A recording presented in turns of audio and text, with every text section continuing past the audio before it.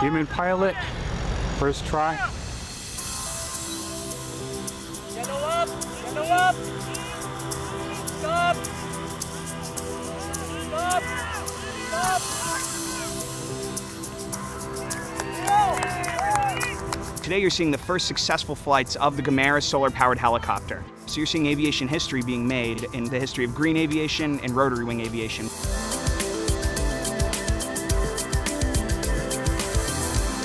This aircraft started as a Gamera human-powered helicopter. After we accomplished all of our goals with that aircraft, the project was handed over to a team of undergrads who converted it to a fully direct solar-powered electric aircraft. We created all the foam backings.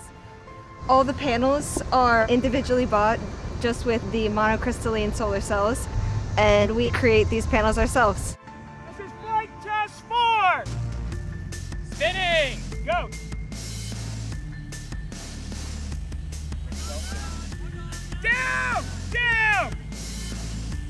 Up? That rotor didn't spin at all where Vikram is.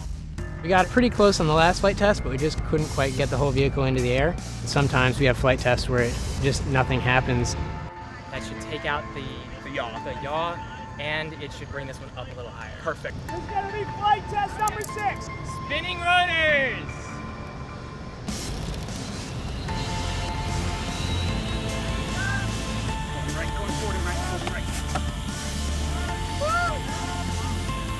We're going for a trip!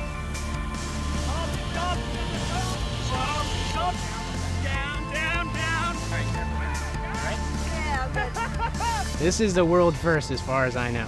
Michelle, congratulations. It's an incredible experience. It's a first for our team, and also it was really exciting that I got to be the pilot. This project's come a long way in the past six or seven years from human power to now solar power. Going for a trip! So we're breaking barriers in aviation of all sorts with this one airframe, and we're very proud of that work here at the University of Maryland.